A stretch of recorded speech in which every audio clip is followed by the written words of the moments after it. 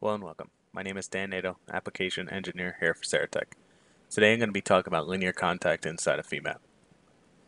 So there's two types of contact that are supported inside of FEMAP with Simcenter Nastran. The first one is glue contact. Glue contact acts as if the entities have coincident nodes. Now one of the nice things about glue contact is that you don't have to make sure that meshes align because in the background that's what it's doing. It's making sure that those entities are connected together as if they had coincident nodes. The other one is contact also called linear contact. Linear contact is a surface-to-surface -surface contact, which allows entities to come into contact without those entities penetrating one another. Now how do you set those things up inside of FEMAP? There is a connect pull-down window, and you can also do so in the model info tree under connections. Now to define contact, you need to define a property, two regions, and a connector that connects those regions together using an associative property. Now, the first thing is the property. It's highly recommended that you start by selecting the defaults in the bottom left corner of this form. If you need to change any of these parameters inside here, please make sure you go ahead and you look in the quick reference guide to make sure that you are adjusting properties uh, that make sense. And review and make sure that you understand what they are doing. Now, if you are using contact or glue, that option is changed in the upper right corner. So if you are specifying contact, make sure you go ahead and specify the contact type as contact, and if you're using glue, make sure you specify that as glue. And always remember to select that defaults. One thing that I did notice when you do select defaults is it does sometimes make the contact search distance a little too large. I highly recommend changing that to make sense for your case. Next thing you'll have to do is define the region. This is the region where the elements are going to be in contact or are going to be glued to other elements. Now you can go ahead and define these a couple different ways with you know geometry or elements. And then once you have defined these regions, you can go ahead and specify OK.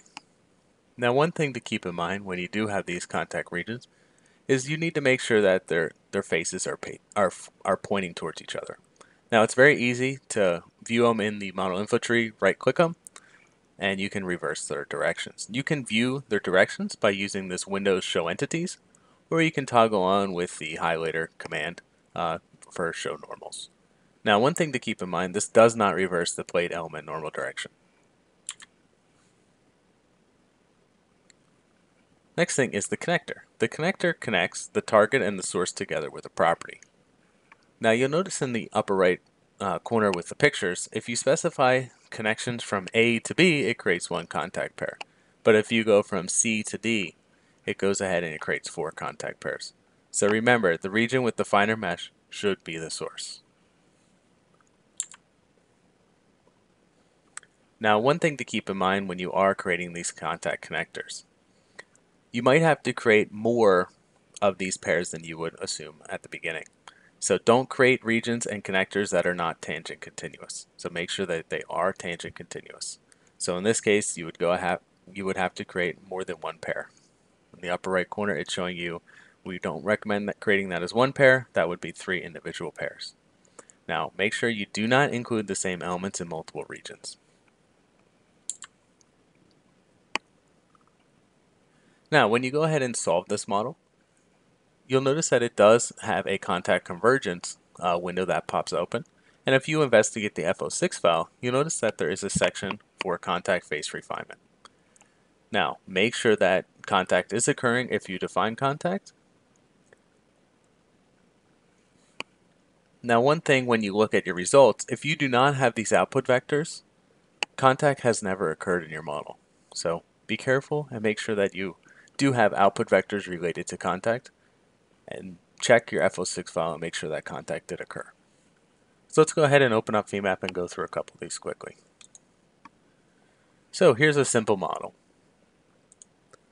I have one set up as glued contact and the other one set up as linear contact. So it's just two plates on top of each other. And I have it constrained on the ends and I have a pressure load being applied to this top plate. So first thing, I went ahead and created a property for each, and each are just the defaults and I changed that search distance. Then I went ahead and created these regions. I'll just highlight it and I'll show you that show normals. So if you select, I have these uh, pointing opposite each other on each individual plate. And then I have a connector. So this one is showing my contact. I right click and I'll say edit. And notice that it's using the contact property and it's connecting, you know, from the top to the bottom. Now in this case, it doesn't make sense for me to edit the source and target, but it's easy to go ahead and uh, flip their directions because these have very similar mesh sizes. Okay, and then I have the same thing for the bottom. So this bottom plate is with glue contact and the top was linear contact, and I went ahead and solved this model, and we can quickly look at our results. And this makes sense looking at your results, is this plate that is glued together, they're acting as if they're one entity and they're moving together. Now where this entity is sliding along the other one, these are exaggerated uh, plots here, but you notice that it came into contact with the other one, and the other one has moved as if it was in contact with it. Here's another simple example just to show some of those outputs. Here's just a, a, plate that's on top of another plate, and we went ahead and applied a load in this y direction to this, this top region. And you'll notice that this section right here is in contact with the bottom plate based on the output vector that I'm looking at, which is contact pressure. So under my post-processing, we can go ahead and look at these output vectors. And you could even filter here for, for contact if that's what you wanted. So I can just go ahead and copy this, file name's contact, and now you'll notice that I have these outputs, and I can go ahead and post-process uh, these output vectors that I wanted to. So contact traction in each direction if I wanted to plot them. You have your total contact force and your forces in your directions. And you have your initial contact separation, so how far apart were they at the beginning. And then you have your deformed contact separation as well. So please make sure if you do have contact that you have these outputs that have the ability to be posted.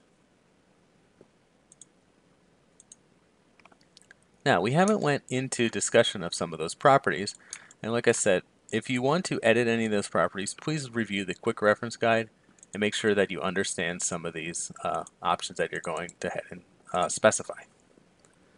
So I recommend hitting this defaults button. But one of the properties that I'll mention quickly is this initial penetration. Right now I have it set to calculated. So here's my model and I have it set to calculate and we go ahead and solve. So this entity was actually press fit. So this center section was actually larger than the entities that were into it. So it already was in penetration. So under this property, uh, for the first one, it calculated that initial penetration. So it knew the value that it was over. And you'll notice in this case, I had a minimum contact search distance and it was negative. So it searched in both directions. So the next one was set up with zero penetration. So what this one does is it calculates the initial penetration and it zeroes them out. So it's basically saying it's no longer in penetration. So now if I go ahead and look at those results, notice that it looks the same as before. Well, that's because I told the solver, hey, ignore that thing already penetrating and set that out to be zero again. And then the last option that you could specify in here is you would zero all gaps and you would stop all penetrations. And that will look very similar to the other case with nothing that has happened because it's no longer penetrating. So those are some of the options that you can go ahead and change under your properties. Now by selecting the defaults, it also turns on shell offset to include shell thickness, includes half the shell thickness. But if you don't want to include that, you can toggle that on and off. And it also includes offset if you do have offsets as well. So let's look at a couple other that, that I have here. So here's a model where I have dissimilar meshes. It's not connected together. And we went ahead and created connections I went, this time I used glue. I used the defaults. And I specified a search distance that made sense in my case. It's very, very small. They're basically connected right now.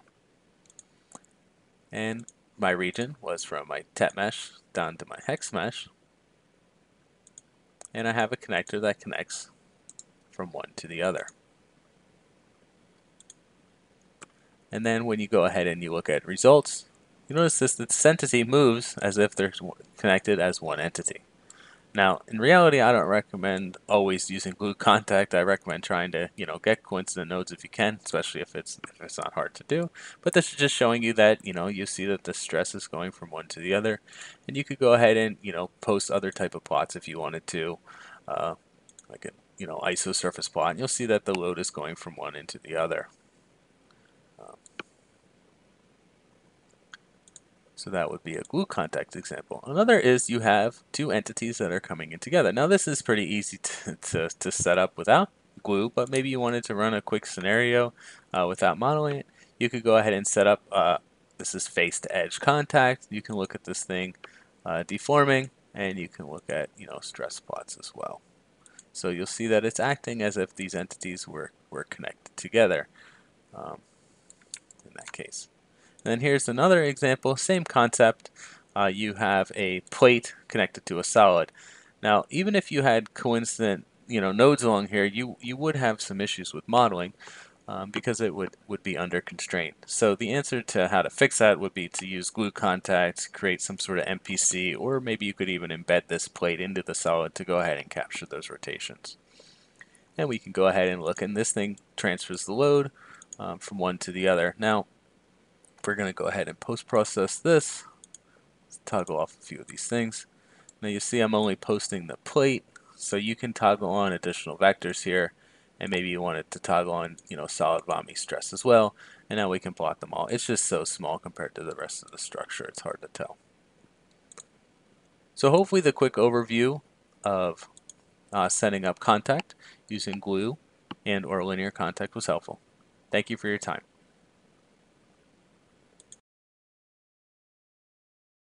Thanks for checking out our channel. If you like what you saw, make sure to like and subscribe down below so you don't miss out on any new videos. Follow us on LinkedIn, Facebook, and Twitter for the latest engineering news and information.